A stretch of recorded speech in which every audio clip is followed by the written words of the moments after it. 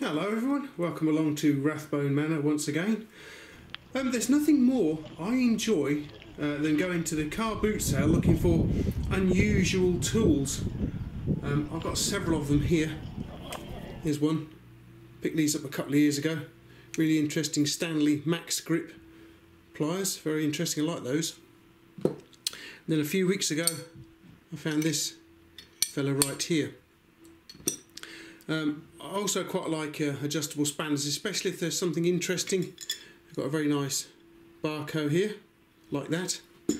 Um, that came from the boot sale. This I purchased new. This is a Stanley Fatmax Demolition spanner, would you believe? Very nice indeed. Uh, 250mm long. Now the last time I went to the car boot sale, I found this little fella right here. Um, it was on the top of a box of ordinary spanners and it stood out, as I'm sure you can imagine, like a sore thumb. So I thought, oh, what's that? I'm going to have to have that. Um, tell you what, guys, let's take a closer look at it, shall we? And this is just the kind of tool that I like to find at the boot sale. Um, if I remember rightly, this little fella cost me four pounds. Um, as you can see, it's a very beefy spanner by today's standards, quite thick, really quite heavy, and it's got an unusual head on it. Look, look at this, the jaws on this. How different is that? And I thought to myself, what on earth is that all about? I had no idea. Um, when I picked it off the stall, I thought, well, I'm having that because it's so interesting. Uh, and it wasn't till I got home and started the uh, car boot sale review, and namely looking at this, because this was my star buy of the day. Uh, and it wasn't until I actually started messing about with it that um, I found out exactly what it did. So yeah, so this is a uh, ratcheting screwdriver. It's got a little uh, laser, a laser etched or um, it's either laser, laser etched or um, chemically etched diagram of what happens just here. Um, the only thing with this particular one is the spring is uh, a little worn, probably rusted away, doesn't work properly. But um, what I'm going to do guys, because it works like an ordinary uh, adjustable spanner in this sense of the word, but um, let's take it down the workshop shall we, and see exactly what we can do with it. Okay then, so here we are in the workshop, and as you can see I have a, um, a Bahco 73 here that I'm currently working on. I'm going to have this on my wire wheel a little later on today, so that's why it's in pieces.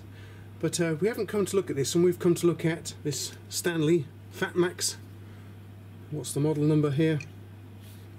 We have a uh, 97546 10 inch or 250 millimeter adjustable spanner with this unusual jaw going on right here.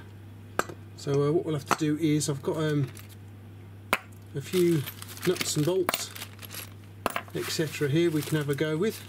So we'll uh, Oh, hang on, I've got a large one here too.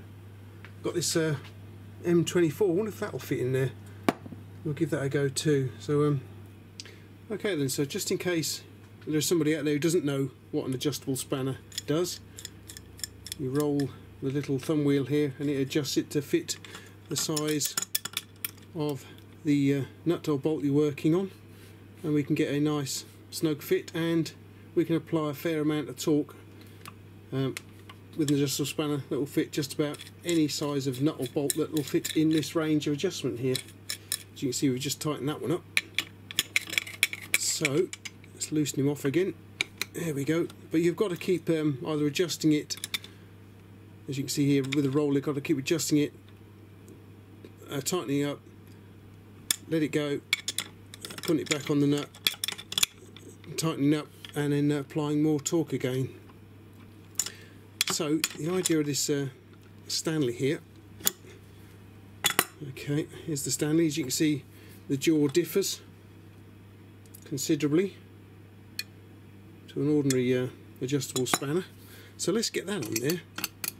And there is a specific way of mounting this on the nut. So uh, let me just move the camera so that hopefully we can get a better view. I'm not sure how well this is going to work here Let's have a look. Can we see there? Hang on, one second, guys. Okay, so this unusual jaw is um, proving a little difficult for me to show you how a um, we mount a nut or bolt in here. You can see there's um, you can see that very well guys. There you go. You can see it's an unusually shaped jaw. It's not straight. The top jaw is not straight like a standard spanner.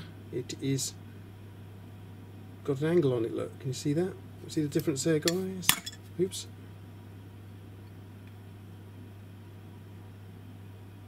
Okay, so the idea is that we um, push the nut or bolt we're working on into this corner there, like so.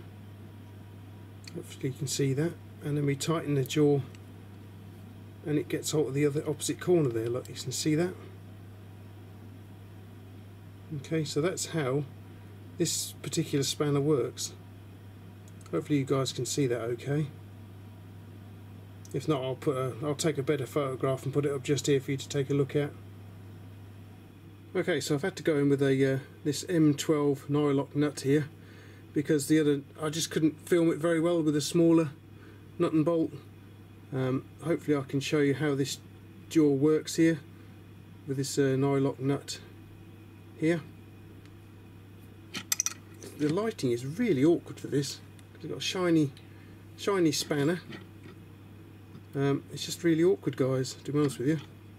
Right, so get, let's just get it snugged down a little bit. There we go. Right, let's try again. And we can hopefully see how the mechanism works for this uh, spanner here. Right, so here we are, snugged up. It's, it's caught it just um, down here. Look, you can see where it's caught it on the nut. So we tighten him up.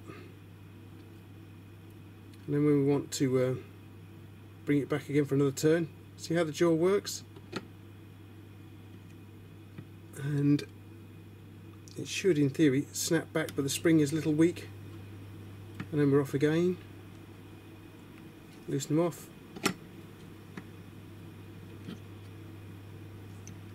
Snaps back.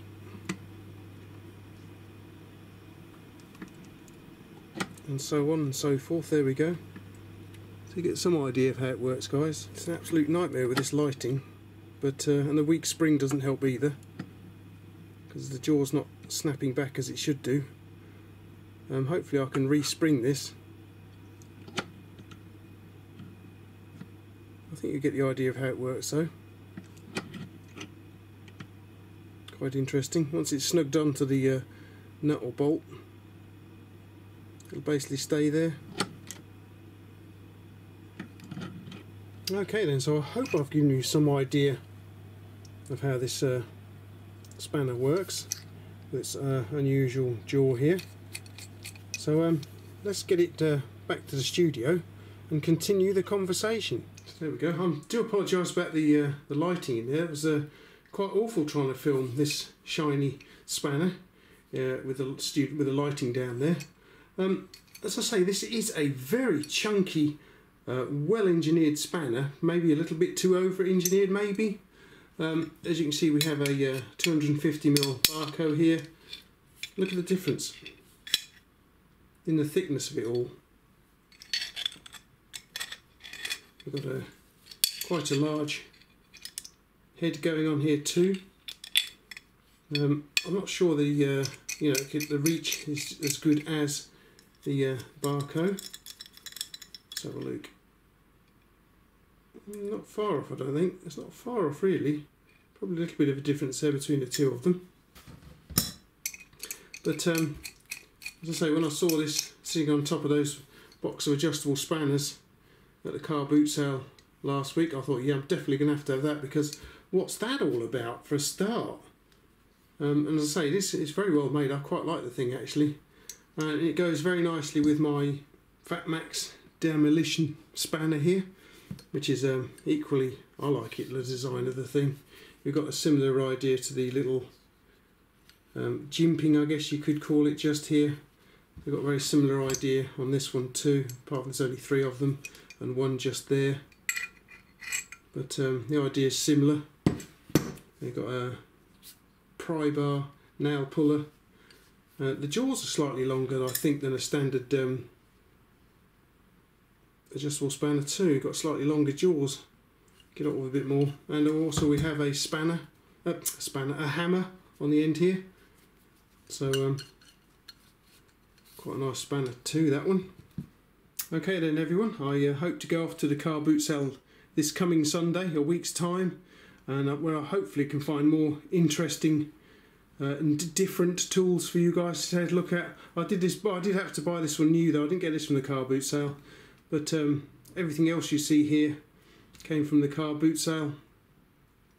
Um, I've got reviews of uh, this, um, the Stanley. I've got reviews of that. Got a review of this little fella down there as well. So if you want to take a look at those, I will uh, leave you some links down below and also on screen links which you've just seen there. Um, still yet to review this. This is an older uh, vice grip, one of the early ones, that one. This is quite an interesting one. This is by uh, Seymour Smith. But I think it's probably the same age, more or less, as uh, the um, vice grip here. So they're both the same age, I think. But um, I hope you enjoyed popping over to uh, Rathbone Manor and taking a look at this spanner. I hope the um, uh, exposure problems I had didn't spoil it for you. And um, I hope you'll pop back again another time. Um, you can join me on Instagram if you wish. I'm over there on Instagram. This has been on there several times. Um, don't forget, guys, you can subscribe to the channel if you wish to. If you enjoyed my content, please feel free to subscribe and ring the bell.